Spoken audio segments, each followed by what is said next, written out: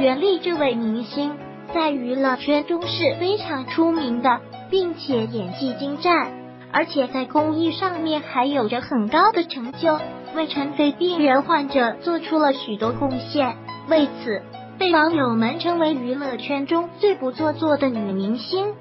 但就是如此好的女明星，却在近日袁立陷入了舆论之中，而这也主要是袁立的前男友而引起的。当时袁立本来发了一条微博，结果她的前男友就将她怒怼和调侃。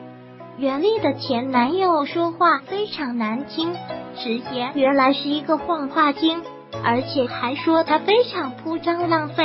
买了许多衣服不穿就送给别人，并且还表示，在自己和袁立分手之后，他竟然将自己的一只花费二点六万的狗给偷走。而且对于狗的事，袁立也是做出了回应，因为当时是二人一起喂养，所以有了感情。后来在和前男友分手之后，因为狗被前男友放在别人家，所以。自己就将狗给带走，但没想到现在如此诋毁自己。对于这件事是受到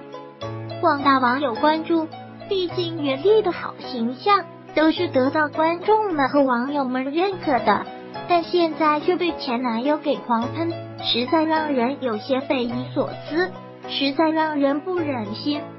不知你对此怎么看？